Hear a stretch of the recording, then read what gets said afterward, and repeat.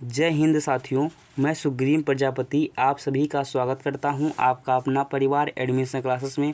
तो आज हम उड़ान बैच के अंतर्गत हिंदी में पुरस्कार के बारे में चर्चा करेंगे, जिसमें हम लोग हिंदी साहित्य के सभी पुरस्कार को जानेंगे। तो आज का वीडियो बहुत ज़्यादा इंपॉर्टेंट है। चलिए देखते हैं हम लोग ज्ञानपीठ पुरस्कार। ज्ञानपीठ पुरस्कार होता क्या है? तो इसकी बात की जाए तो ज्ञानपीठ पुरस्कार जो होता है, हिंदी साहित्य का सबसे बड़ा पुरस्कार है। ज्ञानपीठ पुरस्कार क्या है? हिंदी साहित्य का सबसे बड़ा पुरस्कार है। तो इसमें पुरस्कार में क्या क्या मिलता है? तो उसमें ग्यारह लाख रुपये मिलेंगे और जो है वागदेवी प्रतिमा और एक वागदेवी प्रतिमा जो है कांस की बनी होगी। और जो है, और क्या मिलेगा? एक प्रसिद्धि पत्र मिलेगा। क्या मिलेगा? प्रसिद्धि पत्र। बात की जाए शुरुआत में जो है पुरस्कार की राशि कितनी थी? शुरुआत में जो है पुरस्कार की राशि एक लाख रुपए थी। उसके बाद 2005 में सात लाख रुपए कर दी गई। उसके बाद 2012 में जो है ग्यारह लाख रुपए कर दिए गए। तो आइए देखते हैं यहाँ पर वर्ष दिया गया है, यहाँ पर पुरस्कार, विजेता उसके बाद रचना दिए गए हैं। तो यहाँ पर देखेंगे तो उन्नीस सौ अड़सठ में जो है, स्वामी सुमित्रानंद पंत जी को जो मिला है चिताम्बरा पर रचना की तो उनको क्या मिला, ज्ञानपीठ पुरस्कार। उसके बाद देखिए, यहाँ पर देखिए, उन्नीस सौ बहत्तर में रामधारी सिंह दिनकर को उर्वशी रचना की, जो उनको मिला ज्ञानपीठ पुरस्कार। उसके बाद देखिए तो यहाँ पर देखिए, उन्नीस सौ अठहत्तर में क्या मिला आज्ञा जी को मिला। कौन सी रचना की थी तो इन्होंने की थी, कितनी नाव में कितनी बार। एक बार आप लोग फिर से याद करेंगे। तो यहाँ पर देखिए, क्या बताया? इधर देखिए, वर्ष दिया गया है इसका पुरस्कार विजेता इधर रचना। तो यहाँ पर देखिए, उन्नीस सौ अड़सठ में जो है, सुमित्रानंदन पंत जी को मिला चिताम्बरा रचना पर ज्ञानपीठ पुरस्कार। उसके बाद देखिए, उन्नीस सौ बहत्तर में रामधारी सिंह दिनकर को उर्वशी रचना की इस पर मिला। उसके बाद देखिए, यहाँ पर उन्नीस सौ अठहत्तर में जो है अज्ञा जी को मिला कितनी नाव में कितनी बार। अब चलिए आगे बढ़ते हैं। तो आगे देखिए, यहाँ पर क्या हुआ, उन्नीस सौ में मिला महादेवी वर्मा जी को।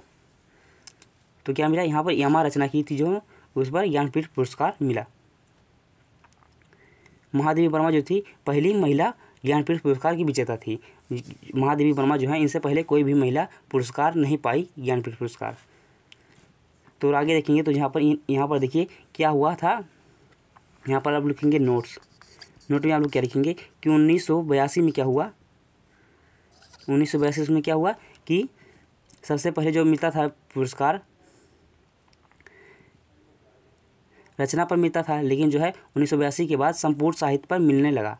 जो है उन्नीस सौ बयासी तक यह पुरस्कार जो है विशेष रचना के लिए मिलता था। देखिए यहाँ पर उन्नीस सौ बयासी तक जो है विशेष रचना के लिए मिलता था, लेकिन जो है उन्नीस सौ बयासी के बाद क्या कर, क्या दिया गया, संपूर्ण साहित्य के लिए मिलना शुरू हो गया। ज्ञानपीठ पुरस्कार। तो यहाँ पर देखिए उन्नीस सौ बानवे में मिला जो है पुरस्कार, नारेश महाता जी को मिला, संपूर्ण साहित्य पर मिला। उन्नीस में मिला, निर्मल वर्मा को मिला, संपूर्ण साहित्य पर। 2005 में कुंवर नारायण को मिला, संपूर्ण साहित्य पर। 2009 में अमरकांत एवं श्रीलाल शुक्ल को मिला, संपूर्ण साहित्य पर। अब चलिए आगे बढ़ते हैं हम लोग।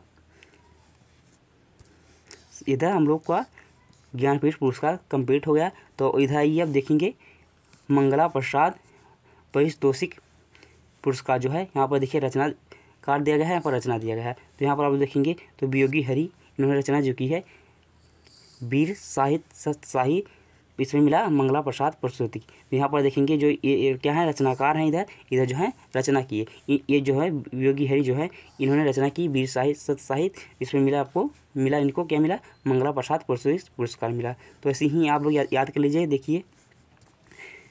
पदम सिंह शर्मा, इनको क्या मिला? बिहारी सत्साई की भूमिका। ये रचना की है तो इनको मिला मंगला प्रसाद प्रस्तुति। ऐसे ही मंगला प्रसाद प्रस्तुति इन सभी रचना पर मिला। जैसे हरिओद, प्रिय प्रवास रचना की मैत्री शरणगुप्त, सकेत के रचना की तो इनको मिला है पुरस्कार यहाँ। तो यहाँ पर देखेंगे जयशंकर प्रसाद कमानी की रचना की तो इनको मिला मंगला प्रसाद प्रस्तुति पुरस्कार। इन सभी को मंगला प्रसाद प्रस्तुति पुरस्कार मिला है। जो रचना की है, जैसे यहाँ पर देखिए, गंगा प्रसाद उपाध्याय, जीवन चक्र, इन्होंने रचना की जीवन चक्र, इन पर मिला इन्हें पुरस्कार। तो जैसे देखिए यहाँ पर, रामचंद्र शुक्ल, इनको मिला रसमिश्रा पर पुरस्कार। मंगला प्रसाद प्रस्तुति तो वहाँ पर देखिए जैसे, महादेवी वर्मा। तो महादेवी वर्मा को यहाँ पर देखिए, रसीम निर्जा पर मिला, जिनेन्द्र परख पर मिला, जिनेन्द्र जी को जो है, परख पर मिला, हजारी प्रसाद देवी को कबीर जी, कबीर रचना की इस पर मिला, डॉक्टर संपूर्णानंद को समाजवाद पर मिला समाजवाद रचना की। डॉक्टर संपूर्णानंद तो इनको मिला। मंगला प्रसाद प्रस्तुति सिंह आप लोग यहाँ पर देखिए, नरेश मेहता तो इनको मिला। नरेश मेहता को मिला मंगला प्रसाद परिस्तोतिक पुरस्कार जो मिला है संशय की एक बारात को। इसमें इसको रचना की इनको मिला था वही पुरस्कार। अब चलिए आगे बढ़ते हैं हम लोग। तो यहाँ पर देखिए, साहित्य अकादमी पुरस्कार। ये बहुत ज़्यादा इंपॉर्टेंट है। इंपॉर्टेंट यहाँ से आपके एग्ज़ाम में प्रश्न बने हुए हैं। तो आप लोग से यहाँ देखेंगे ध्यानपूर्वक। तो इधर देखिए, वर्ष दिया गया है, इधर पुरस्कार विजेता है और रचना, उसके बाद विधा। कौन सी विधा पर आधारित है? जैसे यहाँ पर देखिए 1955 में मक्खन लाल चतुर्वेदी को हिमतरणी रचना की। इस पर मिला पुरस्कार, हिंदी साहित्य अकादमी पुरस्कार। जो है, क्या है? काव्य। हिमतरणी क्या है? काव्य है। यहाँ से एक क्वेश्चन बना हुआ है कि जो है हिमतरणी के कौन से लेखक थे जिस, जिनको मिला है हिंदी साहित्य अकादमी पुरस्कार? तो आप लोग बताएँगे मक्खनलाल चतुर्वेदी। ऐसे ही आप लोग यहाँ देखिए उन्नीस सौ छप्पन में जो मिला वासुदेव शरण अग्रवाल, पद्मावत संजीवनी।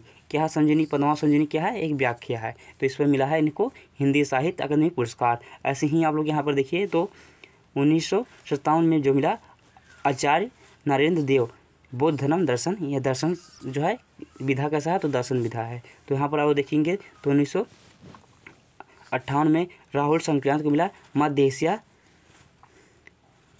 का इतिहास। जो है, ये क्या है? किस विधा पर आधारित तो इतिहास विधा पर आधारित है। तो ऐसे ही आप लोग आगे देखिए तो ये जो है, उन्नीस सौ उनसठ में मिला रामधारी सिंह दिनकर को संस्कृत के चार अध्याय, भारतीय संस्कृति विधा है ऐसे ही आगे देखिए तो उन्नीस सौ साठ में मिला सुमित्रानंद पंत को कौन सा पुरस्कार? हिंदी साहित्य अकादमी का पुरस्कार। इन सभी को हिंदी साहित्य अकादमी का पुरस्कार मिला हुआ है। जो है सुमित्रानंद पंत ने कौन सी रचना की? तो यहाँ पर रचना की है इन्होंने, कला और बूढ़ा चाँद। क्या है? काव्य है। तो ऐसे ही आप लोग यहाँ देखिए तो उन्नीस सौ इकसठ में भगवती चरण वर्मा भूले बिसरे चेहरे, क्या है? उपन्यास है। तो यहाँ पर देखिए, ये जो है भगवती चरण वर्मा जो है, इन्होंने रचना की है भूले विषय चेहरे। तो इनको क्या, इनको मिला है साहित्य अकादमी पुरस्कार और भूले विषय चेहरे जो रचना की है, ये क्या है? तो क्या है? एक उपन्यास है। ऐसे ही देखिए उन्नीस में जो है किसी को पुरस्कार नहीं दिया गया। उन्नीस में किसी को पुरस्कार नहीं दिया गया। तो चलिए आगे बढ़ते हैं हम लोग। तो देखिए देव पुरस्कार, बहुत ज़्यादा इंपॉर्टेंट है।